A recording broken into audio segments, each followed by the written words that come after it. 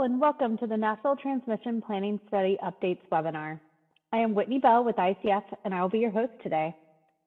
I first have a few housekeeping items for today's webinar. This WebEx meeting is being recorded and may be used by the U.S. Department of Energy. If you do not wish to have your voice recorded, please do not speak during the call. If you do not wish to have your image recorded, please turn off your camera or participate by phone.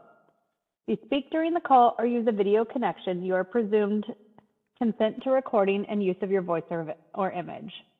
Luckily for you, all of our participants are in listen-only mode. If you have any technical issues or questions throughout today's webinar, feel free to use the chat box and select send to host and we'll be able to help you out. We will be taking questions today, so you may submit them throughout the entire presentation using the chat function. We will then have a Q&A session at the end of this presentation. If you need to view the live captioning, please refer to the link that will appear in the chat now. Finally, we will post a copy of today's presentation on the National Transmission Planning Study Updates webinar webpage by Friday. The recording of today's webinar will be available in about two weeks, and we will notify you when it is available. All right, so let's go ahead and get started. Today, you'll hear from Jeffrey Dennis, the Deputy Director for Transmission Development with the Grid Deployment Office. Jeff, I'm going to go ahead and turn this over to you. Are you there? I'm here. Thank you, Whitney. Uh, good afternoon and good morning, depending on where you are. Um, thanks for joining us today for this update on the National Transmission Planning Study. I'm excited to, to dig in. But first, I want to provide a brief introduction to the Grid Deployment Office. Uh, here in GDO, uh, we work to provide electricity to everyone everywhere by maintaining and investing in critical generation facilities, expanding transmission and distribution systems to ensure all uh, communities have access to reliable, affordable electricity, and conducting analysis and technical assistance on these topics. Uh, we have three divisions that are doing this work. Uh, the Generation Credits Division, which works with existing nuclear power and hydroelectric genera generation facilities to ensure reliability and resilience, and works to improve uh, electricity markets at the wholesale and distribution level, and works with entities on technical assistance in those areas. The Transmission Division, which I'm proud to lead, supports innovative efforts in examining transmission reliability, conducting planning, uh, clean energy analysis and programs, and looking at energy infrastructure and risk analysis in support of the administration's priorities to enhance grid resilience. And finally, the Grid Modernization Division oversees activities that help pre prevent outages and enhance the resilience of the electric grid, including grants for resilience programs, uh, grants to state and tribal energy programs, and related technical assistance efforts. Next slide, please. So today we're going to talk about one pillar of our three-pronged strategy for enhancing uh, the transmission grid and building out the, the national transmission system at a scale we need to meet our national clean energy uh, and climate goals, uh, ensure reliability, continued reliability, and reduce consumer costs. Those three prongs include commercial facilitation, that bar in the middle right there, uh, we have a number of tools to help support uh, transmission projects commercially, including the Bipartisan Infrastructure Law's Transmission Facilitation Program, the Transmission Facility Financing Program adopted in the Inflation Reduction Act, and the Grid Resilience and, and Innovation Partnerships Programs, all enacted in the Bipartisan Infrastructure Law. In addition, we are working on transmission permitting uh, and siting programs to improve transmission siting and permitting outcomes at every level, uh, be it federal permitting, uh, state permitting, and to address impacts on local communities. But today we're going to focus on one part of our third prong there, uh, which is enhanced transmission planning. Uh, the national, and I want to differentiate between a couple of these things. You see the National Transmission Planning Study there, which is one part of our enhanced transition planning work. You're also going to hear an update on our offshore wind, our Atlantic and West Coast offshore wind transmission studies. Uh, but our focus today is on the National Transmission Planning Study. But let me also explain why it's a little bit different than our National Transmission Needs Study. The National Transmission Needs Study, a draft of which you saw in February, uh, which uh, we received comments on in April and we're finalizing now, is DOE's triennial look at the state of the transmission grid. And in accordance with the directives of Congress, including most recently in the bipartisan infrastructure law, uh, that study assesses where current and expected future transmission system constraints and congestion are negatively impacting consumers. To do that, the study assesses existing data to identify constraints and congestion, including a wide variety of industry studies, wholesale market pricing data, and widely available capacity expansion models. By contrast, the National Transmission Planning Study that we will discuss today is a wider aperture look at future transmission needs over a longer time period and with a wider set of potential future scenarios of demand and clean energy growth. Unlike the Transmission Needs Study, which assesses existing data, the National Transmission Planning Study is conducting new modeling to identify not just needs, but also high value solutions for customers across a wide range of potential future scenarios. I'm looking forward to today's update from our team on, uh, on this work, on the scenario development, and on how uh, and on how this work really will demonstrate the value of multi-factor long-term planning uh, to our overall efforts to build a grid that meets our future needs. Next slide, please. So you can learn more about all of the Grid Deployment Office's activities uh, on our website. I want to point you in particular to the Grid and Transmission Programs Conductor, where you can, this is a clearinghouse for all of our transmission and grid related financing programs. And here you can learn more about programs we're implementing under the Bipartisan Infrastructure Law, the Inflation Reduction Act, and other existing DOE transmission and grid programs. And with that, I think that's my last slide, and I'm going to turn it back over uh, to you, Whitney, to introduce uh, the real smart folks who are going to walk you through the National Transmission Planning Study. Thanks. Thank you, Jeff. We really appreciate it. Appreciate you clarifying all those differences there. It was really helpful. We now get to welcome Carl Moss and Hamody Hindi from the Grid Deployment Office to provide updates on the National Transmission Planning Study. Hamody, I will go ahead and hand this over to you. All right. Great, Whitney. And I'm going to go ahead and share my screen so that we can get that video playing later.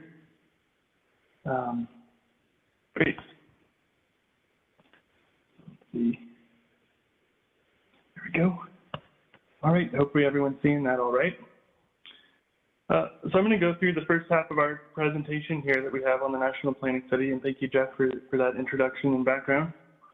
Uh, so we'll first do a, a, project overview. Of course, we did our kickoff webinar all the way back in March of 2022, but we'll give you all a reminder uh, what this project. Yep. I'm sorry, I don't think you're actually sharing the screen yet. We're not seeing anything different. Oh, you try that one more time. How's that look? There it is. There. Perfect. Now we see it. Perfect. Okay, thank you. So, uh, so yeah, we'll, we'll go over a project overview, uh, and then we're going to focus in today on our multi-model approach. We're using about six or so different models to, to measure the multi-value of transmission, and so we're going to do a deep dive into those different types of models that we're looking at.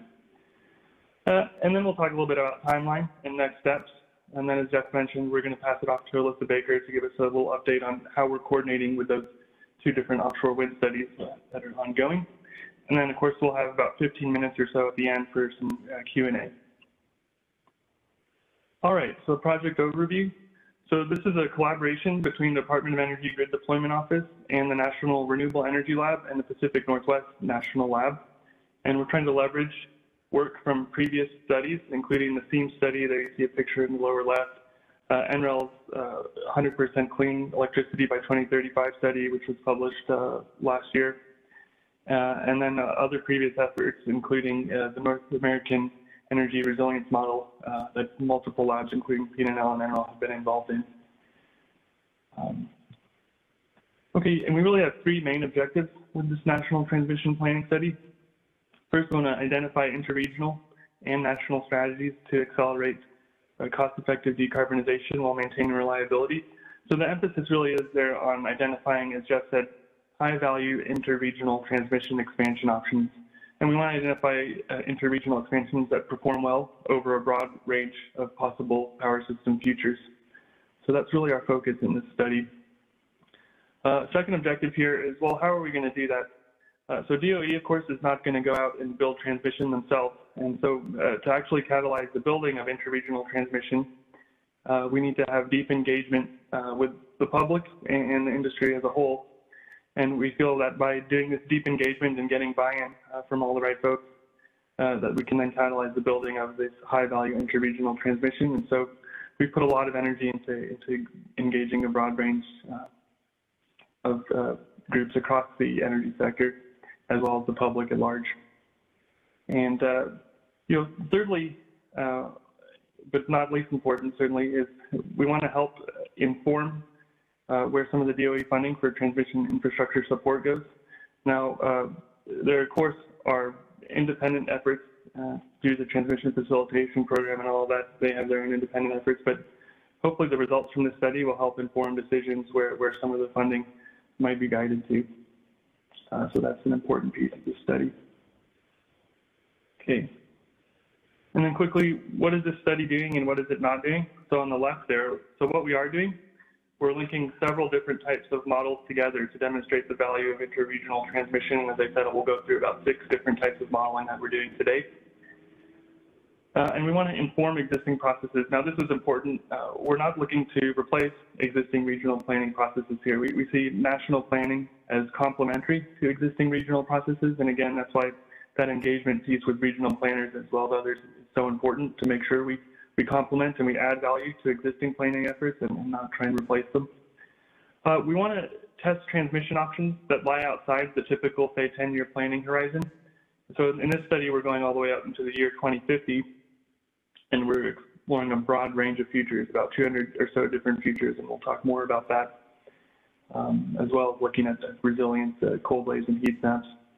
And then lastly there, we want to measure the value of transmission with a number of different indicators, including economic indicators, reliability indicators, and resilience indicators to again demonstrate that multi-value. And then some things importantly that we're not doing.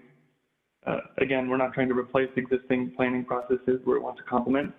Uh, also, we're not going to get to the granularity of siting individual transmission line routes or get to the granularity of doing detailed environmental impact studies that you'd have to do as you develop, you know, detailed final plan service, say.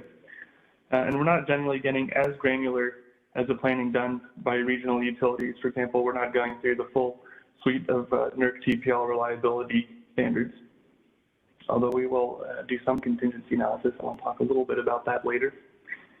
Uh, and then lastly, importantly, we're not here to develop detailed plans of service. Again, our goal to catalyze the building of transmission is to get engagement with the public and industry, and then have them take the concepts that we see as high value to do that development of more detailed plans.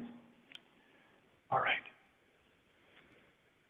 Uh, so themes from public engagement, as I said, you know, deep engagement is an important piece of the study, and we've heard a lot of feedback from the public, and we appreciate y'all's uh, attention and efforts in supporting us in the study as we work together. Uh, so we kind of have bucketed them here in three categories of, of things we've heard uh, over the last year and a half or so. Uh, on the modeling front, you know, we've, we've heard recommendations to review existing industry reports uh, to help support our study. For example, the, the California 20-year transmission plan study has helped inform kind of where and how much offshore wind we're locating in some of our scenarios in the west there. Uh, we've also heard from many folks to make sure we account for the impact of climate change. And so, excuse me, Carl will talk a little bit later about how climate is informing some of the future resilience scenarios uh, we're looking at. Um, developing actionable tools and methods and maintaining a feasible scope. Uh, of course, this is a very uh, broad scoped project. Um, and so we appreciate that feedback, right, that there's always more to do and more follow-on work. Engaging as regional planners. So this was a, a big one for this study as well.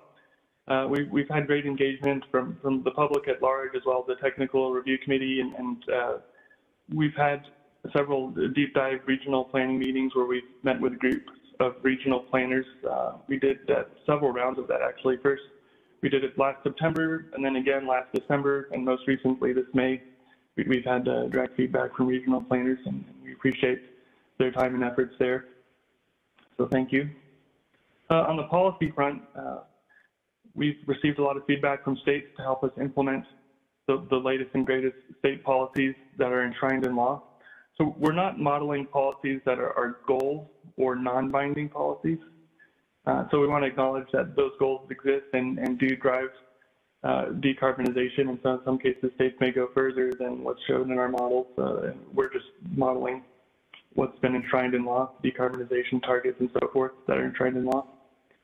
And uh, let's see, on the land use and environmental piece, you know, we've, we've heard frequently that permitting and siting is one of the biggest challenges in transmission planning and transmission development. And certainly we hear you there, and as Jeff had pointed out, uh, you know, another part of our office is focused pretty heavily on, on permitting and siting and, and, doing more than just studies, but trying to really facilitate that. And so, you know, you'll see large infrastructure build outs in some of what we're going to share today. And we acknowledge that such large infrastructure build outs are, are challenging in terms of just meeting uh, permitting and site, siting challenges. And so we do acknowledge that and, and see that also as an important place to make progress. Uh, and then lastly, equity considerations. We're, we're looking at those and seeing how we can fold it into the study, looking at things like uh, energy justice and how that can fit into sort of national level transmission planning. All right, so these are the six models uh, that we're going to go through uh, today. And so first we've got capacity expansion modeling. That's really the heart of the study, and that's where it all starts. And so uh, what we're doing there it's a, a, zonal model, so 134 zones across the whole country. And uh, it basically co-optimizes both transmission expansion and generation expansion together as we simulate the build out of the uh, power system from present day all the way out until 2050. And based on different input assumptions into the model, you'll arrive at a different future power system by the time you get to the year 2050. So we'll vary things like the cost of wind and solar uh, as well as uh, how much load growth you have. We have a low demand and a high demand growth in our first round there. And also how much decarbonization you might have. We, we do one set of runs where we're looking at, say, achieving 90% decarbonization on the power system by 2035 and another uh, where we're looking at um, 100% by then, as well as looking at just current policies, which could potentially be a lower level. And so by varying all those different inputs, as you co-optimize the generation and transmission build-out, you arrive at different power systems with different resource mixes and different transmission expansions. So we did that in the first round about 200 times, um, and then we'll take that and apply more detailed modeling. So that's what these other five models are. So we'll do production cost modeling, and that's at the nodal level using uh, industry models. Uh, as well as we'll do power flow, both DC power flow and AC power flow. And then resource adequacy, so the goal of a resource adequacy there is to check and make sure right, you have enough generation to serve the load at all times, and we're doing the traditional probabilistic-based approach, as well as some other approaches uh, looking at the extreme type events there. And then the stress analysis, and that's really synonymous with resilience analysis. And we worked a little bit with the North American Transmission Forum, uh, looking at sort of definition of resilience. Uh, there we're looking, and Carl will talk a little bit more about that, at heat waves and cold snaps and droughts. Uh, to, again, try and characterize the value of interregional transmission. And then lastly, economic analysis. So while production cost modeling has an economic piece to it, right? You're looking at the cost of what it takes to operate the system over the course of a year. Uh, the economic analysis ties in not only that operating cost, but also looks at capital costs of those different power system features. So how much do you invest in transmission versus generation, and what are the trade-offs, and what happens when you build inter-regional transmission, how it impacts all of that together. So that economic analysis is an important piece of what we're doing and ultimately getting to things like uh, cost benefit ratios. Okay, so those are the six models and, and we'll dive into them here. So this picture here uh, kind of shows again all these models together, but just as a flow chart. So on the left, you have all of our different input uh, modeling pieces on, on the resource side, as well as assumptions on the load side, for example, transportation, building electrification, as well as the network itself. Then that blue piece is the capacity expansion piece. And um, uh, there, again, we're simulating about 200 or so future scenarios in the first round. Um, and then this green piece is where we go to these other detailed models. Uh, so what's kind of new about this slide I'll point to is that when we do that down selection from the 200 or so features of the capacity expansion model, we're going to down select to about three to five nodal models or nodal future systems. And it it, it's pretty labor intensive to do those conversions, so that's why we're only aiming for three to five. And we'll talk more about that. But ultimately, the main goal is uh, from all this analysis, both the zonal analysis and the detailed nodal analysis, we want to identify, as Jeff was saying, high value transmission expansion options that perform well over a broad range of futures. Uh, okay. All right, so uh, again, for the capacity expansion model, um, this is kind of four different outputs of the model shown on this map uh, from our round one of analysis. And Carl's going to talk a little bit about a round two analysis that we're going to do later. Uh, but again, we're looking at about 200 different futures. So here's four of them shown, each different map. Um, so first of all, all four of these are looking at the high demand set of futures. So that's consistent with the net zero economy by the year 2050. And it's looking at a 90% decarbonization for the entire electric system by 2035 and, and 100% by 2050. And the maps are showing the year 2050. So for these four different maps, what you're looking at that's changing is the transmission build out paradigm. So the first one in the upper left there assumes what if the power system develops and we really only have within region transmission that is intra-regional. So, so no new interregional transmission between the FERC order 1000 regions. Uh, how, how does the resource and transmission build out happen in that case? And so what you see, the blue, blue dots are, are new uh, wind, and the red dots are new solar, and the purple dots are new offshore wind. And then those little gray lines are the new transmission expansions that happen. So the thicker the gray line is, the more new transmission there is. You can see that, that reference point in the lower left that shows the thickness of a 10 gigawatt line to get a feel for it. Um, uh, or I should say a 10 gigawatt pipe right here. This is a pipe and bubble model. We're not showing individual transmission lines. Uh, anyway, that's the upper left is assuming you don't have any new interregional transmission, only local new transmission. Then the upper right, uh, what if we do have new interregional transmission, uh, but no new HVDC transmission, so you don't have any new expansions across the eastern to western interconnect boundary or into Texas. So in that case, you see different transmission developments and slightly different resource developments across the country in terms of wind, solar, and offshore wind. And then the lower left is if uh, you, allow not only for both of those types of expansions, but also uh, point-to-point uh, HVDC. So there you do have new ties between the eastern and western interconnect and also into Texas. You can see there, uh, you know, thicker gray lines across the country. And then lastly, in the lower right, that's the most progressive of our transmission expansion futures, where you have not only AC expansion and point-to-point -point HVDC, but also multi-terminal HVDC. Um, and so you can see how, how that affects both the resource amounts and locations, as well as where the transmission expansions are happening. But this is really just to show you how the different uh, systems can evolve based on input assumptions. Okay. So that was the capacity expansion model, an example of four, four of those outputs. Now I want to dive into a couple other types of modeling, production cost modeling and the power flow modeling. Um, so for production cost modeling, uh, there we've translated over from the zonal model, which is the world the capacity expansion model lives in, and what we're talking about is about 134 zones for the whole country connected by pipe and bubble model of a transmission system. Uh, transferring over to the nodal level, uh, which is really the, the industry model. So here we're talking about instead of 134 zones, we're talking about tens of thousands of nodes where each node can represent either a substation or even buses within a substation, as well as representation of individual transmission lines and individual transformers. And so it's a much more spatially granular model. And it's also much more temporally granular, uh, as we'll talk about. But it's, it's quite a labor intensive process to, to do this uh, trans, uh, transition to the nodal model. And so that's why we've only done with a few scenarios. But why are we doing this uh, transition to the nodal model? What do you gain? Well, as I said, by modeling those individual elements, you can get closer to reality in terms of modeling actual limits and actual constraints of the system. And so there's value there. Uh, and also we can gain insights into grid balancing using more granular uh, spatial and temporal modeling. And for the temporal granularity, what we're talking about, you know, the capacity expansion zonal model, it's got roughly 17 time steps per year, and then we simulate every three years going out to 2050.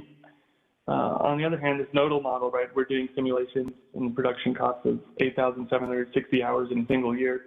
So you can really see within that single year, uh, what are your challenges during different seasons, and then even within seasons, what are different challenges in different weeks or even uh, across the course of a day, for example, say a sunset in California where you've got that duck curve can really see uh, the challenges uh, and constraints that the system might face there. And then of course on the spatial side, when we've got individual lines modeled, we can see in much more detail where are the local constraints, right? If you're adding one or two gigawatts of wind to an area, how does that impact, you know, not only the interregional system, but the local system? What are local reinforcements you need to be able to get that power out of there to where it needs to go? And so we've gained a lot of insight there by having these more spatially granular models. And then lastly, I'll point out, right, in terms of the generator interconnection, right, we have to actually choose interconnection points that are specific to, do we want to put it at a 230 kV substation versus a 500 kV substation? And so that's just another piece that you get when you look at uh, these more detailed nodal models with that higher spatial granularity. Um, and so I think I covered basically these points uh, on the previous slide, but again, we're going to post these slides so y'all can feel free to, to read back through these, these points here about the benefits of, of the, um, the nodal model. And, uh, and then the grid balancing insights, I think I covered most of these there on that a couple slides ago. Um, although one thing I'll point out on this grid balancing insights, and here uh, the picture you're seeing is, is the production cost modeling simulation zoomed into a particular week uh, in the month of January. And it's an hourly granularity, but you can see sort of each day, like where the, the load peaks, that black line is, is the load, and then wind and solar in blue and yellow. And you can also see when we have this uh, more temporal granularity, where exactly curtailment is happening. And that's uh, the gray piece of the graph, that's sort of the highest pieces of the graph towards the beginning and end of the week. And by having that temporal granularity, we can see more how often the, the curtailment is happening and what's causing it. And of course, with the spatial granularity individualized models, you can see, well, there's a local constraint that might be driving curtailment. In that case, interregional transmission isn't going to help you until you fix that local constraint. And so by having these detailed nodal models, we can see that.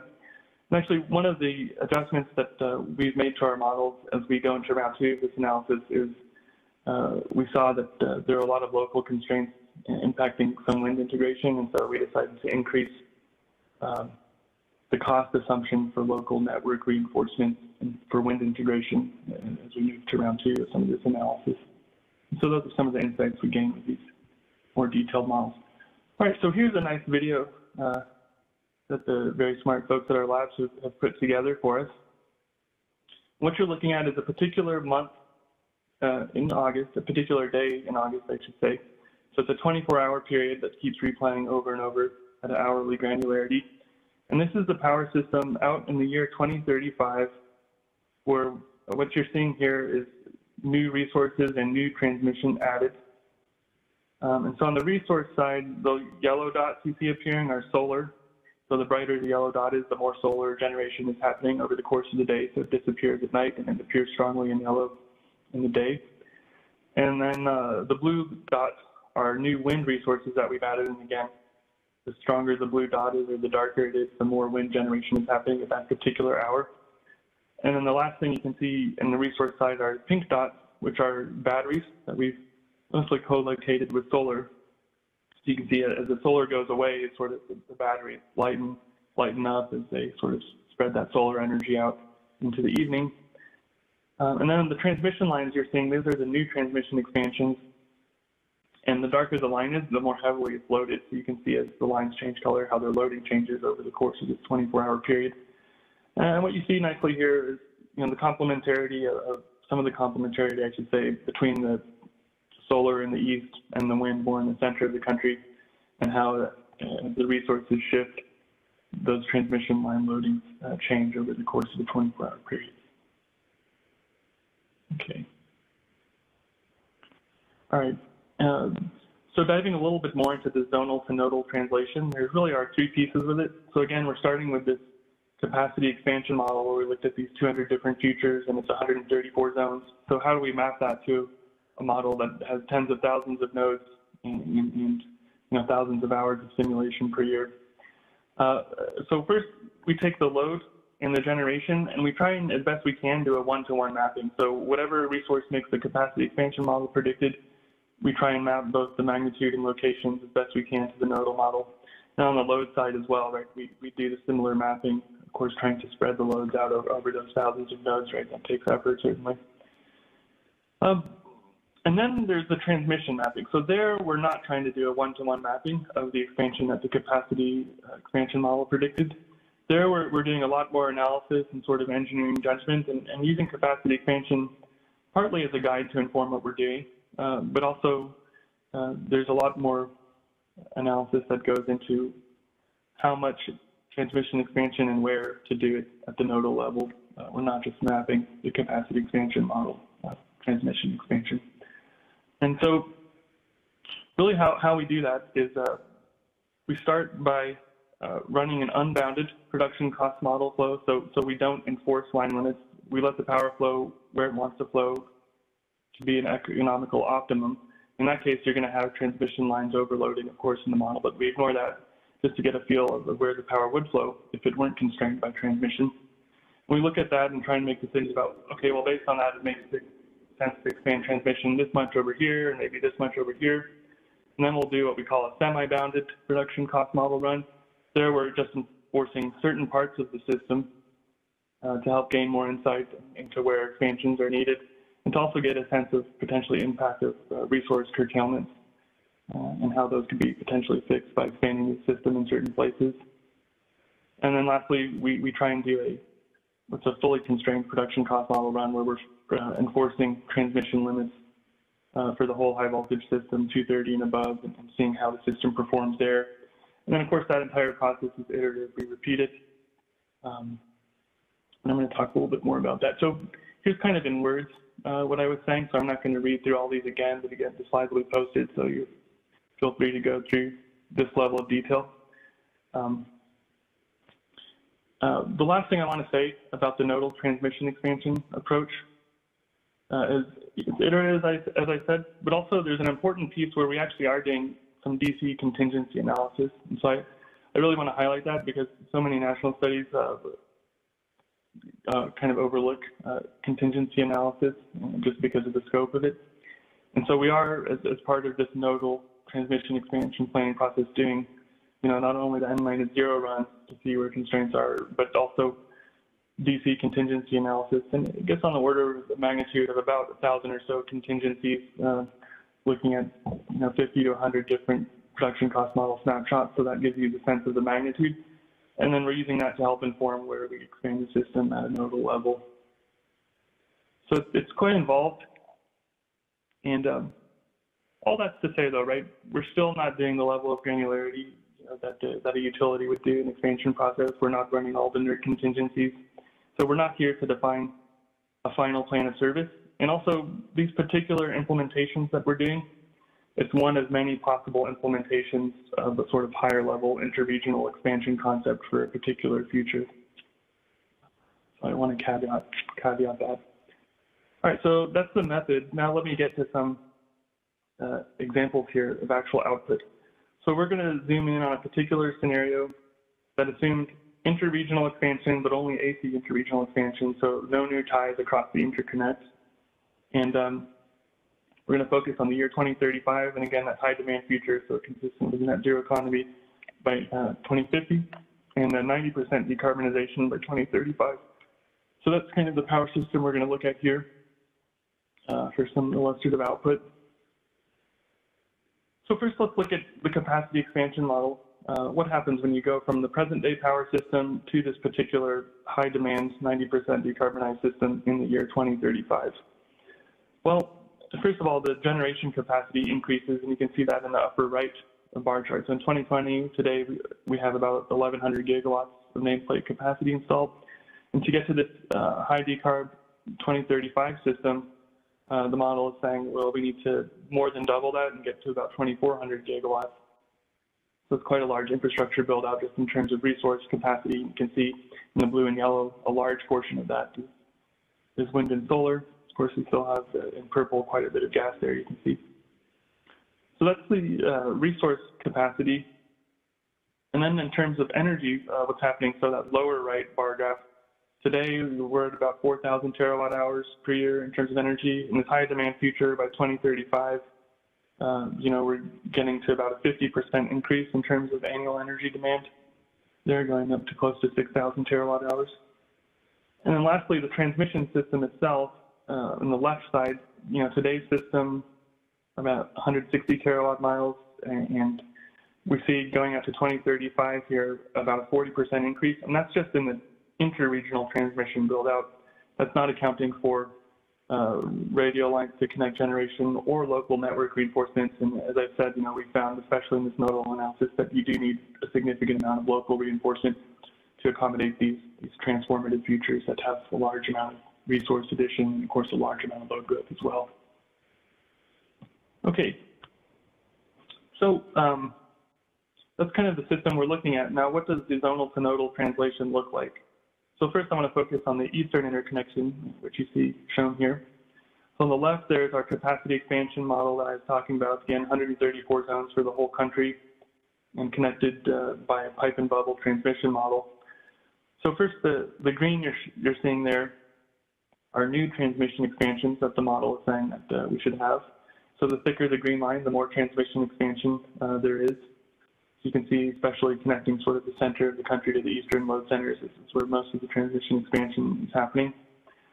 Uh, and then on the resource piece uh, for the capacity expansion model on the left there, again, the, the yellow dots are solar and the blue dots are new wind. And the larger the circle, for the larger the, the power plant is, or the larger the um, number of power plants are in a particular area.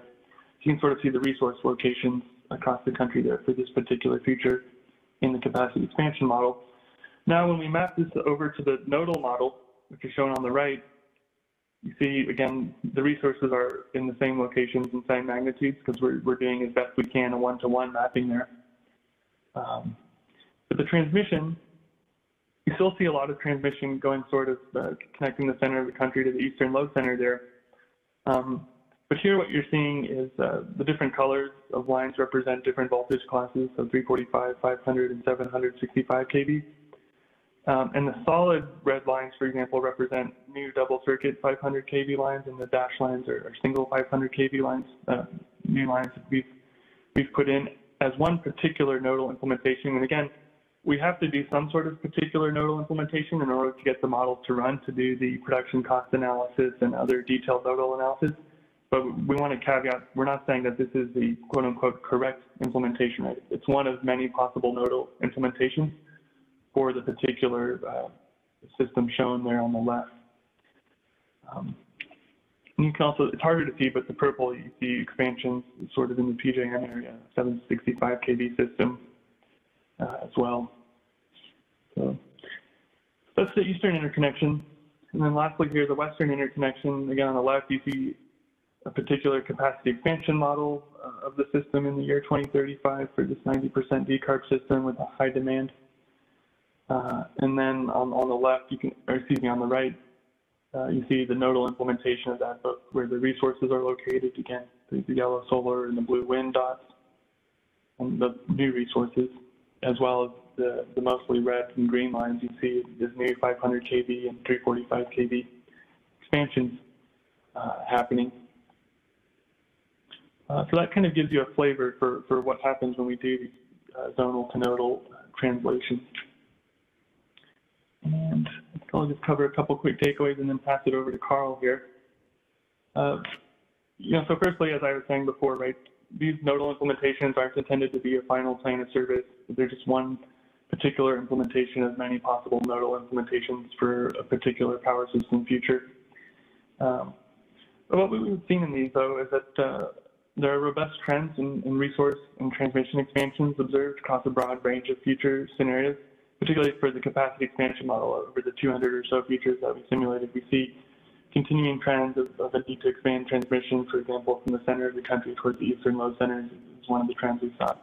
Uh, but also continued trends in really large amount of wind and solar growth.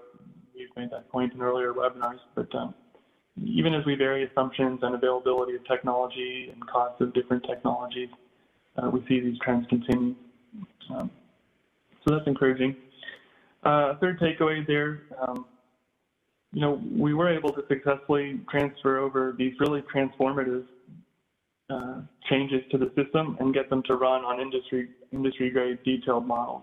Um, so that's also encouraging, right, that it is possible to successfully model really transformative power system futures using these very detailed models. Um, and then the last point here on this slide uh, is just that we've seen, of course, uh, if you have a broader interregional view of transmission expansion, uh, that those types of expansions really can have significant impacts on what type of regional local planning you do, as we see both the need uh, for, for local reinforcement to accommodate large, say, local resources that might be driven in part by interregional connections, um, as well as just changes in resources mixes generally and transmissions generally, uh, depending on whether or not you uh, have a lot of new interregional transmission. Uh, and then kind of this last slide of takeaways here. Um, uh, through these nodal models, right, we've seen also how much curtailment can happen in, in various places. And again, we've seen a need for for local reinforcements to help prevent some of that curtailment so that we can deliver the energy up to the main grid so it can get to where it needs to go. Um, for example, one thing you saw in the picture of the Western interconnection, there was a new backbone built out in Montana to, to collect all the wind that was going in there. And so we've seen that often a new collector backbone is needed to help deliver new renewable energy to, to the main grid. Um, and then the third thing here, so nodal modeling, one of the things that's helped us do is, is learn how to improve our, our zonal models. And so, for example, I, I made that point of we, we saw that really there was a lot of local network reinforcements needed, and so we've made adjustments to the, the local wind integration costs uh, on our zonal model to account for, for that. Um, let's see, new insights for technical uh, feasibility uh, using these multiple models. So again, this is getting to this idea of these nodal models have both more spatial granularity and more temporal granularity, and they, they better model the, model the physical limits on the system. And we can also gain grid balancing insights there uh, with these more uh, granular temporal models. And then the last piece I'll, I'll leave you all with is really we're trying to build tools that can be leveraged by industry. Again, DOE is not looking to build transmission directly themselves, we want y'all to be able to leverage these tools and do more detailed studies that, that ultimately hopefully will lead to, to transmission expansions that get put in the ground. Um, so with that, I'll go ahead and pass it to Carl and, uh, oh no, oops, one more slide before I pass it to Carl. Actually, this is an important piece, AC power flow. Um, so as I said, we're doing DC power flow contingency analysis to help inform our nodal transmission expansions that we're doing. Uh, we're also doing some AC power flow analysis. So, so Pacific Northwest National Lab has developed a tool called CPAGE, the Chronological AC Power Flow Automation, Automated Generation Tool. And that takes basically a power flow snapshot, excuse me, production cost modeling snapshot, and can automatically convert it over to an AC power flow uh, snapshot and why is that important? Well, when you have an AC power flow, you're representing reactive power flows, which has an impact on line loading and also has an impact on, on uh, allowing you to analyze voltage stability, uh, see how the system performs there. And so we've been able to convert over you know hundreds of cases from hundreds of power production cost model snapshots and see some analysis there. So I did want to point to that.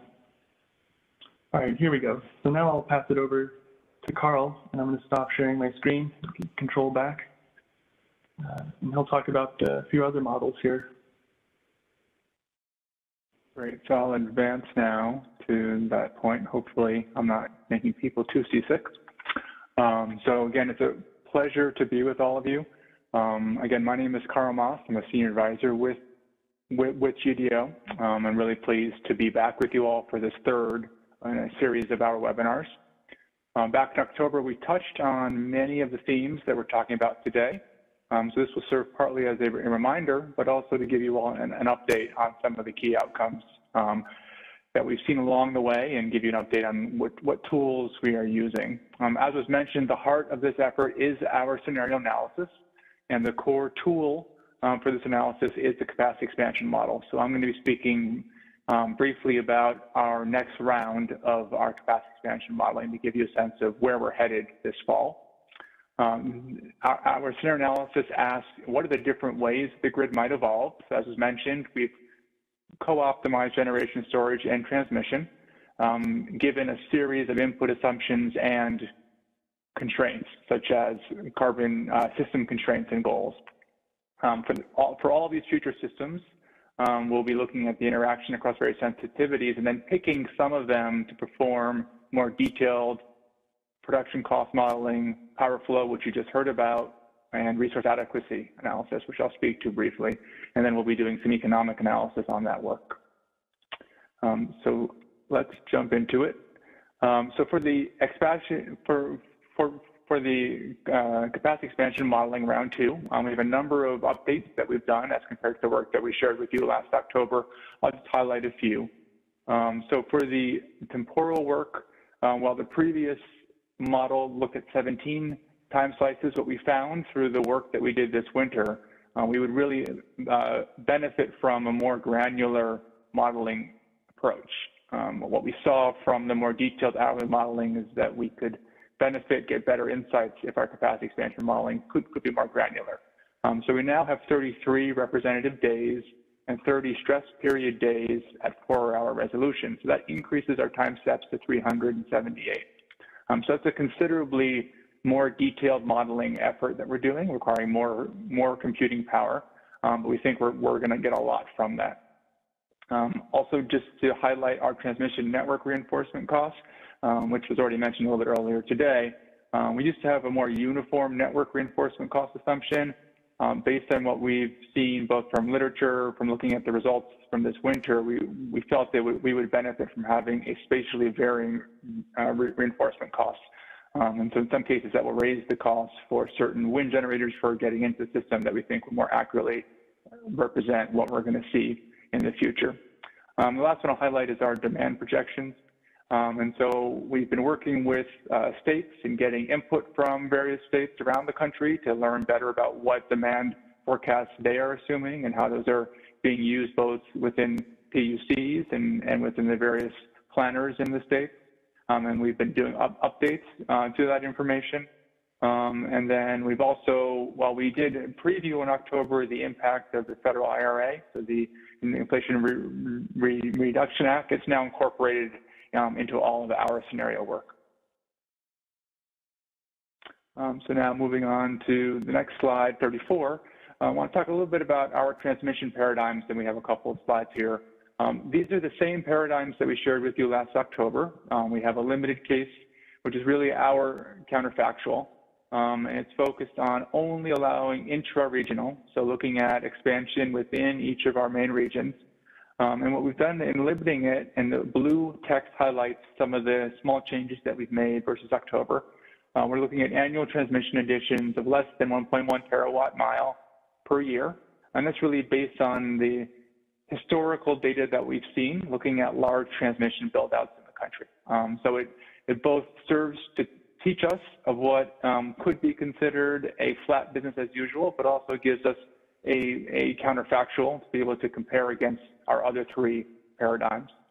Our so-called AC transmission case is largely unchanged, um, and this is where we focus on intra-interconnect. So we have three interconnects, west, east, and ERCOT, um, and we focus on looking at AC expansion within each of those. Um, and so that leverages the work of our capacity expansion model, which is 134 zones, and looks out how we may see AC expansion within those interconnects.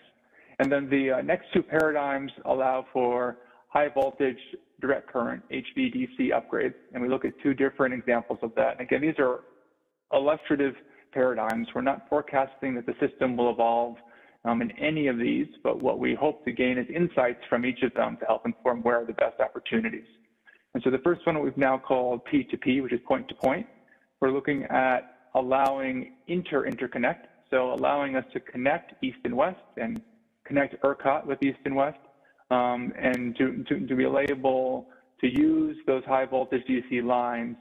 Um, and what we've done is we've looked at over two, or roughly 200 candidate interregional lines of how HVDC could run, um, and we've been limiting it to less than 1,000 miles. So we've been looking at fairly long lines and looked at a large opportunity space to help map, map out how we might uh, model those P2P scenarios. And then the last one is really looking even more expansive at a multi-terminal HVDC platform. Um, and so this is where we allow for not simple point-to-point, -point, but allow for off-ramps and on-ramps within that HVDC platform. So we've taken those four paradigms and then we've layered onto them as we did in the fall, um, different assumptions around how load will grow and to, to what degree will we, we will decarbonize the grid. And so um, for those two variables, we now have a three by three matrix. So we've added an, an additional set of load growth. Um, before we had a high-low bounding, and now we have a low, medium, and high. Um, and so there have been some changes to, to, to those assumptions as well. Um, for the high demand, we're still framing that around a net zero economy by 2050. Um, so that includes a significant amount of, of electrification to, to get the uh, full economy to a zero net emissions. Uh, for the low, it's still focused on a business as usual load growth. And the, the um, uh, medium by its name is a less aggressive than the high growth scenario, but does include the impacts of the IRA. Um, and so with that, we have our four transmission paradigms, and then we multiply that by our three by three uh, matrix to develop these 36 core scenarios. And just as we presented again in the fall, we're then going to do additional sensitivities on those. Um, and so what we've done is looked at this diagonal of the three demand and emission scenarios. And so we take our four transmission paradigms and focus on three of the, again, the uh, current policy low demand, the, the 90% in medium demand, and then the 100% high demand, and look at those and multiply them by 12 different sensitivities to give us 144 different views of what the future might be. Um, and we highlighted some of these previously, but just to run you through them quickly, we're looking at sensitivities around lower wind costs, um, we're also looking at uh, lower solar and, uh, and, and battery costs. We also want to pressure test the cost of carbon capture and storage. Um, we've been looking also at variables that might hinder the growth. So looking at limited wind and PV siting. So we put additional constraints on where we can site wind and solar and, and uh, see what those impacts are. We also want to test out what if we have more limited options in terms of technology? So what if we don't have carbon capture and storage? Uh, what if we don't have hydrogen available? Um, what if we don't have new nuclear available? Um, so this will give us additional insights into how the future might play out. And then we layer some of them in what we call our many challenges. So if we have um, a more difficult time siting solar and wind combined with not, uh, an inability to have new nuclear carbon capture and hydrogen and combined with climate change impacts, um, what does that more challenging future look like? And what is the benefit of transmission that we see um, in, in those circumstances? Um, so that's the quick overview of our round two. And again, we'll be um, embarking in that work towards the end of summer, and we'll be looking to come back in the fall to share some, some of the results. Um, so now I want to do a very quick view um, in the time left on a couple of the other parts of this multi-model approach. Um, so first, I want to give you an overview on, our resource adequacy work. Um, so this slide just gives you some high-level definitions. For those who, who don't know the term resource adequacy, um, is a process in which we look at the supply of electrical demand and how it's being met at all times, taking into account system outages. So how are we able to meet our, our demand needs even when we have a contingency that's being applied to the system? Um, and the traditional method is we look at a, a, prediction of when will the system peak. That's our, you know, our most uh, uh, uh, stringent time. Um, as we think about other futures. There will be other hours that we need to also look at. When might we have uh, lower wind and lower sun? Um, but a, a, traditional first approach is to look at system peak. Um, and then we use specialized tools to help estimate the amount of extra capacity the system will need above that peak. So we call our planning re reserve margin. Um, and it's that reserve margin that we need that allows the system to deal with system outages that um, might occur. And then we build our a system around those needs. And that's what this illustrative graph shows you that we have in the dark gray what the actual peak is. There's a planning re re reserve margin above it, and then we build resources to, to help us meet those needs. Um, so in our national transmission planning study, um, we've, we have our capacity expansion model ReEDS, um, and it builds the required firm resources to equal or exceed that peak demand plus the planning reserve margin. And ReEDS doesn't just base this on nameplate capacity, but looks at how will each resource be available in the hour when we need it. Um, and so we then verify the work of this capacity expansion model ReEDS using other tools um, that are able to model the system um, and verify that we are indeed adequate. Um, and one tool is called PRAS, or Probabilistic Resource Adequacy Suite. Um, and we also use a number of different production cost models to help us verify that we have an adequate system. And we found that for futures of low carbon power systems, and we demonstrated this in the fall and reaffirming it now, um, including those with you know greater than 75% variable renewable shares, we can meet resource adequacy needs with proper planning. Um, we've evaluated adequacy um, in a more complex way as well. Um, and what we found is that you know we, we, need to carefully examine stressful periods, given the fact that we'll have a system which has a much higher degree of, of variability and uncertainty in, in, our, in our supply. Um, and supply impact adequacy, but so does a change in the demand shape as we see from increased electrification. And a changing climate must also be considered um, to understand the impacts on our, on our resources and the shape of, of, of, of that demand. Um, so what we've done for round two is we'll be using an updated approach um, based on what we've learned from our round one, in which we'll integrate PRAS, our probabilistic tool, that dynamically in the capacity expansion model ReEDS. Um, and so that's what we are able to incorporate now um, in a more thorough way, looking at stressful periods to identify um, when when we'll have you know when we'll have key periods of hourly uh, dispatch out of PRAS that are going to be challenging for the system.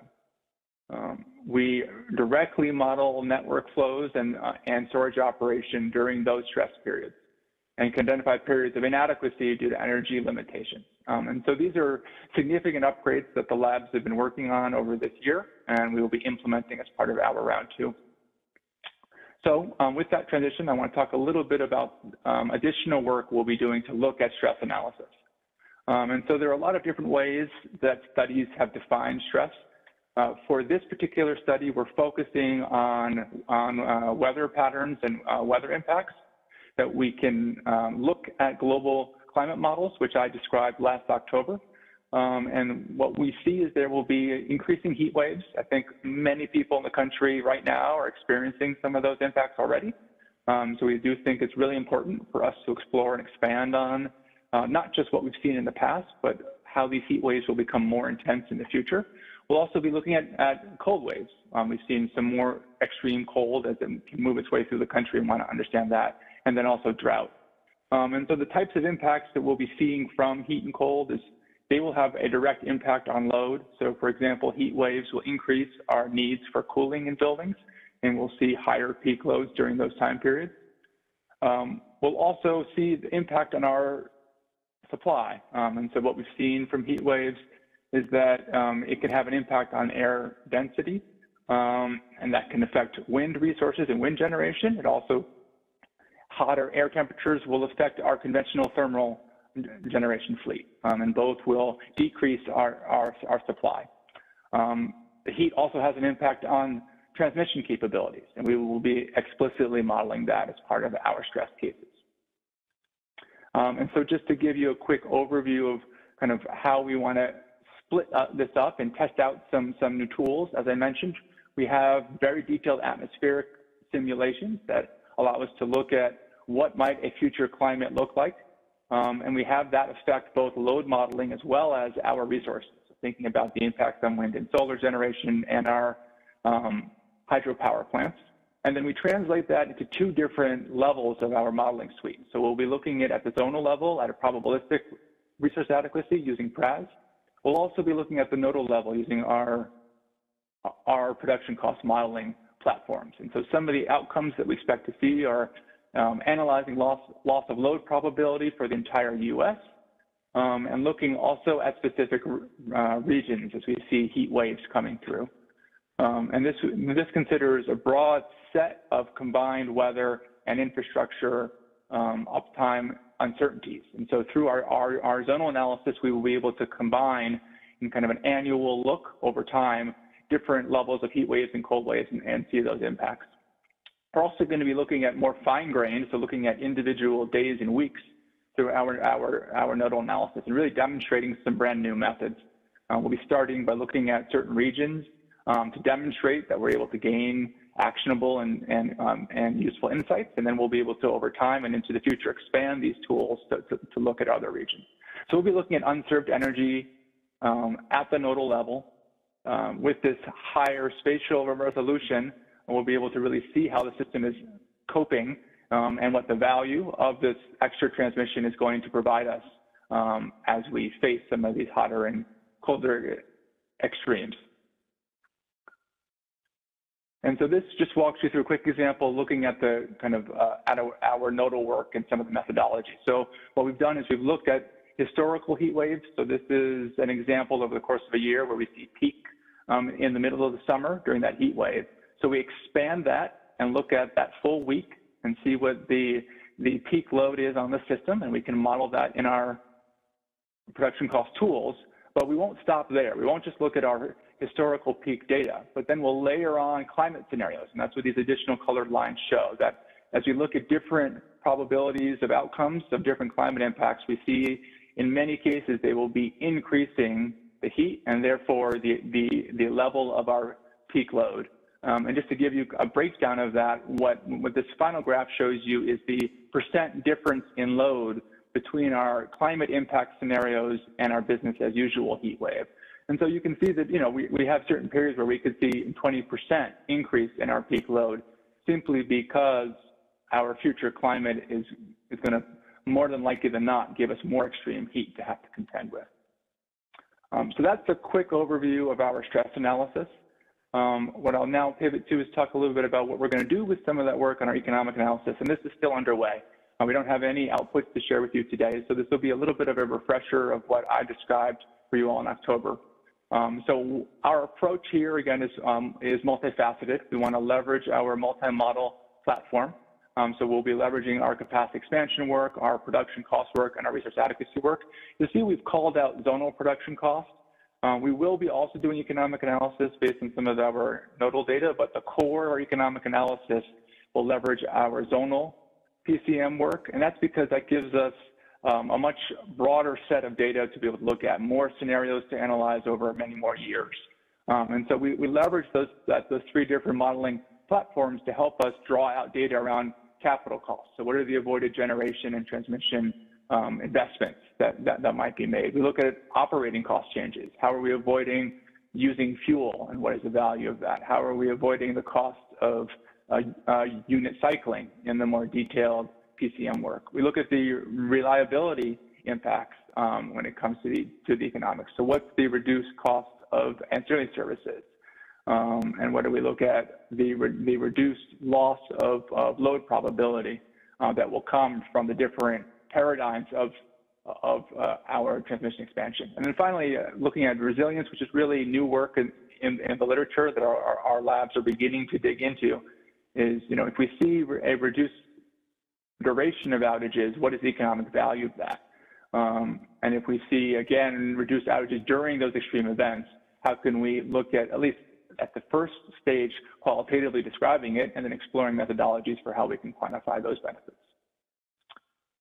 So with that, that's the very quick run through our uh, multi-model approach. I did want to close out this part of the presentation with a, a refresh on our timeline. We've, we've shared this slide with you all before. Um, so as was mentioned previously, we kicked this off over a year ago, um, and we have completed our initial round of, of scenario modeling. We brought that work forward to you all in October. Um, we've been doing much more detailed analysis over the winter and have learned quite a bit to refine and build into our round two. Um, and then what we see in the box is our meeting with you now today. Uh, we will have a meeting with our TRC, who's our technical re re review committee, um, and they will be reviewing and giving us feedback in the fall.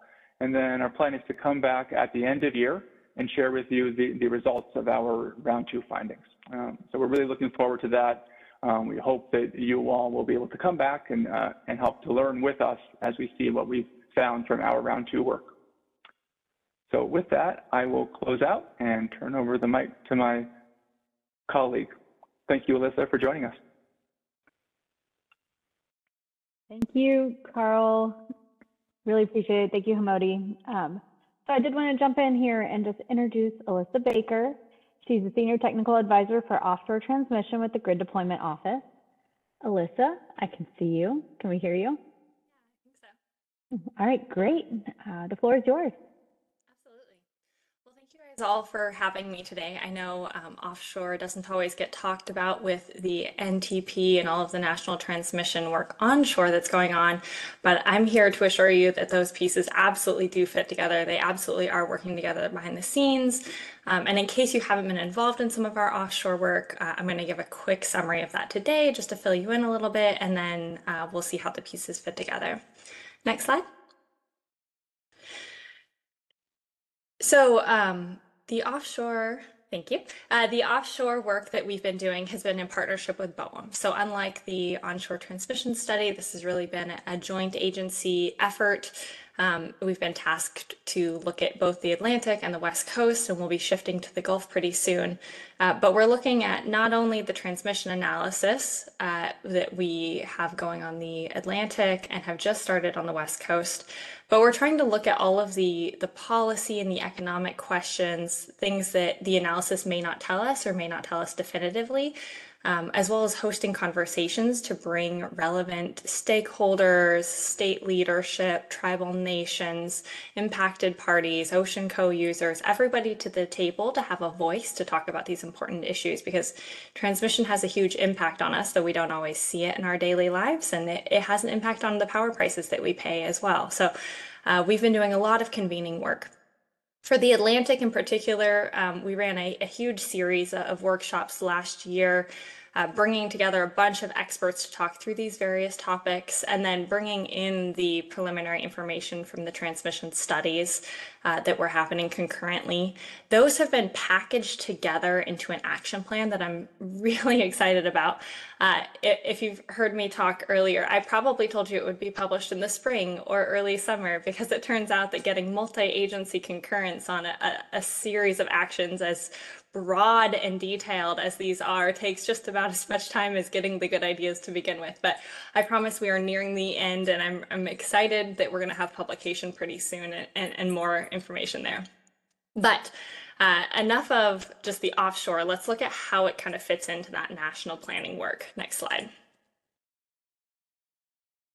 So I like to say that uh, you know, the West Coast study and the Atlantic Coast study are siblings. They're they're not identical twins, but they're they're very closely related. And the National Transmission Study has got to be like a cousin because they're definitely familiar, uh, but they're not exactly the same.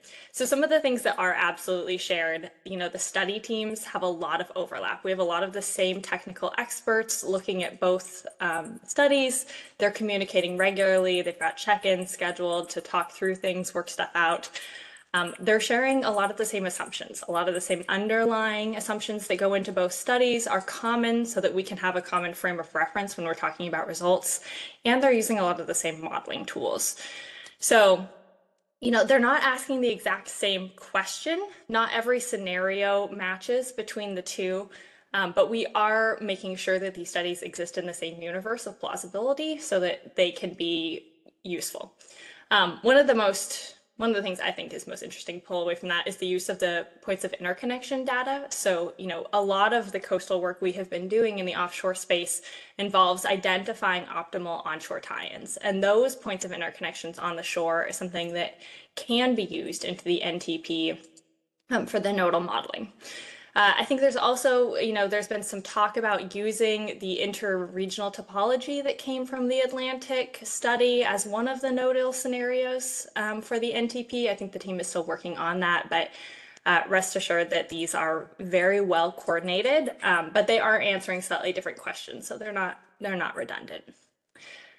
So I think that's kind of the, the basics. Uh, stay tuned absolutely for more from our offshore stuff. That'll be coming pretty soon with the publication of the action plan. Uh, and of course, the NTP has uh, another public webinar that Carl just mentioned coming at the end of the year where we'll have even more information to share. Back to you, Whitney. Great, thank you so much. All right, this brings us to our Q&A portion. So we are going to um, be bringing all the different people who have spoken today up here for to answer some questions. And while we're doing that, I want to make sure that you know you can ask questions. Please put them in the chat and we will um, try to get to them as best we can. So as we're bringing up the speakers, I am going to go ahead and get started here. So I'm going to get started here with a question first for Hamody. Hamody, can you hear us? Yeah. Okay, great. Um, so does DOE intend to incorporate large interstate independent transmission projects that are under development? If so, how and with what criteria? Yeah, yeah good question. So, uh, you know, first of all, as we said sort of during the presentation, right, that these particular nodal implementations that we're building of these future power systems, um, they're just one of many particular implementations. And so uh, certainly we don't want to uh, choose winners and losers in terms of actual individual transmission line developments. There, there are many possible futures there. Um, so that said, as we do these nodal implementations, uh, we, we have surveyed sort of which projects are in development and in more advanced stages of development. And, you know, if certain proposed projects that are in advanced stages of development are, are lining up with some of the some of the transmission expansions that we're seeing uh, as part of our modeling effort, you know, we may potentially use those in some of the implementations uh, of, the, of the models. Um, and so we, we've discussed in, in, previous meetings, I think, different criteria that we use to potentially look at those. Uh, so while we are looking at those and, and, potentially using some of them in some of our implementations, you know, I want to emphasize that uh, any of the implementations that we're doing here are not intended to be final plans. Uh, they're just one of many possible implementations. We want to identify high value interregional transmission at sort of a higher level. Um, and so um, you know, with, with many possible different future implementations that, that can be decided um, by industry and as part of other processes that DOE has in terms of evaluation of projects.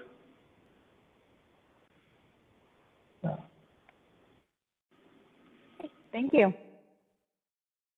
Um, so I do have another question here, and this one's for NREL, and it's a couple of questions. They're kind of related, so I'm going to ask both of them. Um, and just so our attendees know, we do have um, some staffers from NREL and from PNNL that will be joining us here on the screen uh, to uh, answer some questions here. So this question is, with resource capacity, I assume the study is looking at nameplate capacity. How would the analysis change if accredited capacity levels were studied? And the related question is, what capacity accreditation for wind and solar are you applying for 2035? Yeah, thanks, Whitney. And hi, everybody. My name is Trieu Mai with the National Renewable Energy Lab, and I'm kind of representing kind of the large technical team here um, on uh, for, for the labs in, in this question. Um, so first, in terms of the question, resource adequacy, uh, Carl touched on this a bit. Um, it's obviously a key component of reliability, and so we obviously need to, uh, you know, analyze it and make sure the systems and the portfolios that we're putting out there uh, are truly resource adequate. Um, so in fact, the modeling um, the full suite of models, but especially the, the front end where you have the capacity expansion models that generates your portfolios, does consider resource adequacy um, by looking at different accreditation for different technologies that vary by region, depending on the characteristics of the underlying resource, um, as well as with scenario and over time. Um, so that's a dynamic part of the model that's calculated. For the final version of the scenarios, um, we are incorporating the probabilistic resource adequacy suite or that PRAS model, um, which does draw on outages and does a Monte Carlo analysis within that portfolio design framework. Um, so we are calculating that um, within the model to answer the second part of the question in many of these high renewable scenarios with lots of wind, solar, and battery storage. Uh, we do see the marginal contributions from these resources going down to near zero. Um, however, um, the interplay with transmission and you know the fact that the first uh, sets of technologies that are deployed still does contribute to uh, firm capacity or resource adequacy needs. Hope that helps. Back to you, Whitney. Thank you so much. Um, this next question is actually for Carl. So as we're bringing him up here, um, Carl, this study seems to depend on development of certain generation resources. How useful would this study be if different kinds of generation are actually built, nuclear instead of land-based wind? What if new forms of generation are developed? Hmm. Yeah, so that's that's a great question. Um, so I'll maybe reemphasize some of the importance of the work of doing sensitivity analyses. Um, so, you know, we all know that uh, making assumptions for 30 years is incredibly challenging. Um, and so given that uncertainty, what we've asked the labs to do, um, and they've been able to gather quite a, a significant amount of stakeholder input over these months, is to test out different technology assumptions. So at the core, they've made a number of technologies available and allowed the model to look at what is at least cost optimized outcome. But we recognize that those assumptions, you know, may not be right. We may get the cost of wind the next 30 years wrong. We may get availability of nuclear wrong. So we've tested, pressure tested availability through our scenarios. And that's where we have the nearly 200 different sensitivities that we'll be running this fall um, to give us insights into what are the implications if certain technologies are or aren't available. What if it's harder to site wind? Um, and at the end result, how does that affect Um, these outcomes around our interregional transmission builds?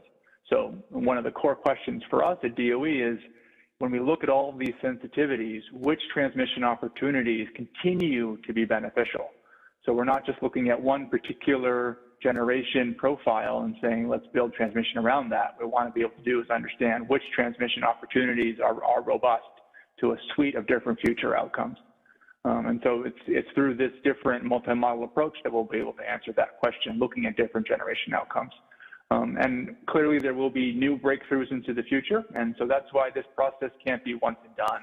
Um, we really are looking for this type of national transmission effort, this national planning effort to continue into the future. Um, and so this is about engaging with our various public entities and, and private entities and moving forward and learning from what we do this round and then doing it again as we see new technologies coming forward. So thanks for the question. Thank you, Carl. This next question, um, there's two of them that are related, and this is going to be for PNNL. Um, are there any considerations of the stability need of such high penetration of IBRs and the moving of generation further away from the load centers? The related question then is, has system stability been assessed or considered? Yeah, thank you, Whitney. Uh, excellent questions. Uh, as as everybody is is familiar, the inverter-based resources or IBRs uh, do behave a little bit differently than uh, synchronous generators, and and can contribute to uh, stability questions that that need to be addressed. The first step is really looking at the power flow analysis. And so when we when we're done with the capacity expansion and the, the production cost modeling and looking at the resource adequacy and the hourly uh, profiles, we'll we'll take some specific cases, some some stress cases, run some power flow analysis, do contingency analysis on those. And really what the power flow analysis can reveal are, things um, you know like reactive power and voltage support and some of those steady state types of uh, considerations that we can model in the power flow and look for whether or not these uh, resources are, are providing those types of ancillary services. Uh, really to fully answer that question, we need to get into the dynamic analysis to look at things like voltage stability, uh, transient response, inertial response, those types of things. Those are currently outside the scope of what we're doing on the transmission uh, planning study. So um, um some of the some of the analysis we're doing, some of it's out of scope. Great, thank you. All right, so this one is for NREL. What criteria is being used to site the new generation and new transmission? How is the existing grid limitations being accounted for, overloads, et cetera? Is the impact to the short circuit cap capability impact to protection systems, system inertia, and essential reliability services being considered? Yeah, thanks, Whitney. Um, it's a great question, and um, we probably don't have time to go through all the details, but I'll try to provide a high-level summary right now, um, which is in terms of determining which resource mix and where to put the technologies. Um, the model tries to account for as many characteristics of the technologies and needs of the system um, simultaneously and balance those. Um, so for example, back to the resource adequacy question, um, if a technology uh, isn't able to contribute as much to its uh, the system needs during a stress periods, either other technologies might become more economical or you'd have to build more of that technology or connect it with storage or with transmission to other systems. So it's doing this holistic approach for system planning altogether.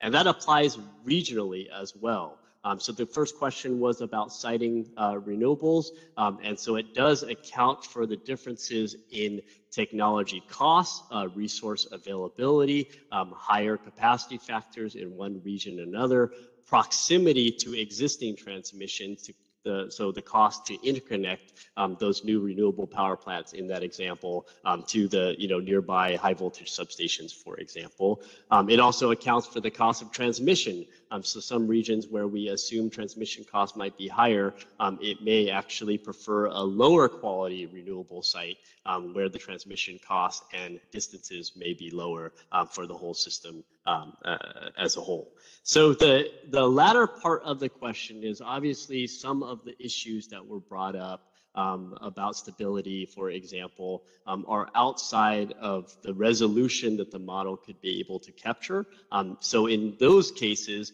um, ideally, as Jeff just noted, uh, we would then evaluate them with higher fidelity models to account for them. We do stop somewhere within the National Transmission Planning Study. We do look at hourly production cost modeling um, and some of the DC contingency analysis that Hamody referred to, um, but some of the, uh, the higher resolution modeling that necessitates a full um, look at reliability would, would require more, more work. Thanks. Thank you. There were a lot of questions in there, so I appreciate you covering all of that. Um, this question is for Jeff. Does CPage calculate AC power flow as a snapshot or as it continues where generator parameters and transition from one generator state to another is included as a constraint? Yeah, thank you for the follow-up question. So the, the CPage tool is, is basically extracting snapshots from the production cost model. It is the, in the production cost modeling framework itself, that uh, we're, we're looking at the characteristics of the generation constraints. So any sort of uh, ramping issues, if there's hydro um, in terms of uh, run-of-river uh, issues, if there's any other things that uh, the um, hourly production cost model needs to include to make sure that from one hour to the next, we're being consistent and reflecting all of the generation constraints that's handled in the production cost model. Then what we're doing with CPage is we're taking those hourly snapshots and we're extracting that in order to conduct the, the power flow analysis. Um, it's it's interesting that in in looking at the stress cases and the resilience analysis in the power flow um, analysis domain, we need to take several different times uh, throughout the, the, the year to really look at when uh, the transmission stresses are going to be um, you know, creating uh, constraints when we do the contingency analysis. So it's a little bit different than the, the old days where we would just uh, sort of focus on peak hours and, and things like that. Because a lot of times um, peak load isn't necessarily when we have uh, maximum transmission constraints. So we want to use the CPage tool to selectively pull out those hours uh, that, that look like uh, could have some transmission issues. And then we use the, the results of the production cost model and then pull that out as a snapshot for CPage. But we're relying on the production cost model to provide the consistency between um, the hours and making sure that all the constraints are modeled as relates to the generation. Uh, thanks, Whitney, for the question. Great, thank you. All right, our next question is for Carl. Um, is there a specific timing of a Pacific offshore wind transmission study? Uh, great, that's a straightforward one. Um, so um, we kicked that effort off at DOE in uh, May of this year, and it's a 20-month study. Um, so that gives you a sense of when we think the project is going to be done. Um, so it's you know it's an effort. It's another kind of lab-based effort, um, just like we did on the east eastern seaboard. Um, and with that engagement, it will be around 20 months. Thanks. Okay, thank you. So this one is going to be for Trieu and for Hamody. I believe the first part will be for Trieu, and then um, another part for Hamody. So it seems that these transmission expansion model results focus highly on the implementation of 500 kilovolt lines. Is there a reason why 765 kilovolt, kilo, kilovolt and HVDC lines are not considered? Are transmission voltage and conducting sizing also considered? And then the part that would be for Hamody is, are advanced conductors being used? Yeah, um, I'm happy to take this on behalf of Trieu, uh, specifically as it relates to some of the nodal uh, models and nodal modeling efforts that have been underway. Specifically on different voltage levels, uh, we are able to and are expanding at all voltage levels from 230 kV above, so 230, 345, 500, and 765 kV. Specifically on conductor types and assumptions that are being made there, um, earlier on during the course of the project timeline, we had made some queries with our technical review committees and more specifically the modeling subcommittee on the types of conductors and conductor arrangements. So at the different voltage levels, we are making very specific assumptions around the conductor bundling and different voltage level thermal transfer capabilities when then translating these zonal capacity expansion outcomes into these nodal models. So in summary, yes, different voltages and various um, conductor types are being considered. Um, in the maps that were shown specifically today, it's one of the scenarios that is an AC expansion scenario. So you will see a lot of AC expansion. There isn't necessarily a preference between different voltage levels. It's what is the most appropriate voltage level to then transfer the bulk amount of power on the transmission system to the demand hubs as to where it's needed. Um, in terms of HVDC, similarly, some of the further scenarios will start to explore HVDC and we'll hopefully be able to present some of that in the near future and I think Hamody was um, alluding to that once the round two capacity expansion model results uh, become available. Hamody, I'm sure maybe you want to then address the advanced conductors component, but hopefully that addresses the first two parts of that question. Sure, yeah, thank you, Jared. Um, uh, so yeah, I'll say on, on that first part again, you know, 500 kV versus 765 kV. Uh, I want to emphasize, right, we've done a particular nodal implementation because you have to do something in order to run the models and do the analysis. But um, what, what's much more important than any particular implementation we're choosing here is sort of the comparative work between different scenarios. So how does a system with a lot of interregional transmission perform compared to a system with, little or no interregional expansion? And whether that interregional expansion is implemented with 500 kV lines or 765 kV lines you know, we, we would learn the same important lessons and demonstrate the same high value of interregional transmission e either way. So I just want to make sure to emphasize we're, we're not really advocating for one particular implementation in terms of another uh, regarding voltage class. And then also regarding that, that piece of the question, uh, getting to advanced conductors, uh, DOE is looking carefully in evaluating uh, grid enhancing technologies more broadly, including advanced conductors as well as other technologies. And, and certainly those are important and we want to see them developed appropriately. Uh, you know, for, for this particular study, given its scope, uh, doing a deep dive into it to where it may be better to do advanced conductors uh, versus traditional uh, uh, kind of beyond the scope of the study. So certainly the, the particular implementations we're showing here if we move further down the development pipeline into a more detailed plan of service, and it looks like actually this is an appropriate and good application for advanced conductors, then certainly, you know, we would support that. Uh, just that's a little bit further along in the more detailed uh, development of plan of service that's kind of outside of our scope. But, but again, it gets back to the idea that the particular implementations we're showing here aren't meant by any means to be final, and they could certainly be revised. So. Thank you so much. Appreciate it. Um, so we've got time for one more question, and this is going to be for NREL here. What capacity expansion model was used? And is round two capacity expansion done with ReEDS or a different model? And how were these 134 study zones developed? And I'm happy to re-ask any of those because it was three questions in a row. No, I think I got it, Whitney. Thank you. Um, so uh, the, the ReEDS model, uh, NREL's Regional Energy Deployment System model was used for the capacity expansion for both round one and round two.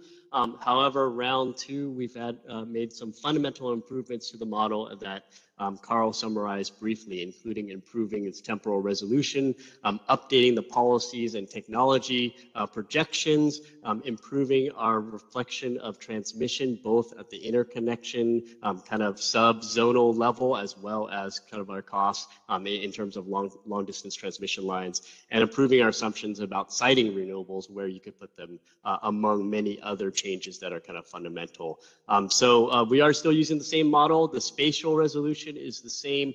Um, the 134 zones were allocated um, depending on a bunch of factors, including regulatory factors. We have to conform to state boundaries. Um, we do have a sophisticated method um, to discuss how we calculate the interface, uh, existing interface transfer limits between zones and whatnot that I'm happy to follow up with those who are interested in those technical details.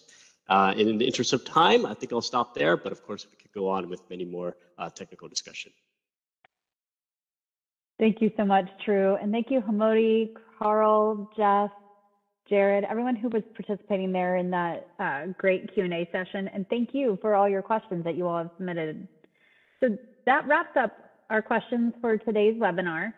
So if you have any comments or questions on the National Transmission Planning Study, you can email us at ntpstudy at hq.doe.gov. That is also there in the chat. And a copy of today's slides will be available on this webinar's landing page by this Friday, and the recording will be available in about two weeks. We will send you an email when all of that is available. Um, and you can find a link to the landing page in the chat now. Again, thank you to Jeff Hamody, Carl, Alyssa, PNNL, and NREL for joining us today and leading us through this wonderful webinar. And thank you to all of our attendees for participating. Take care, everyone, and we'll see you next time.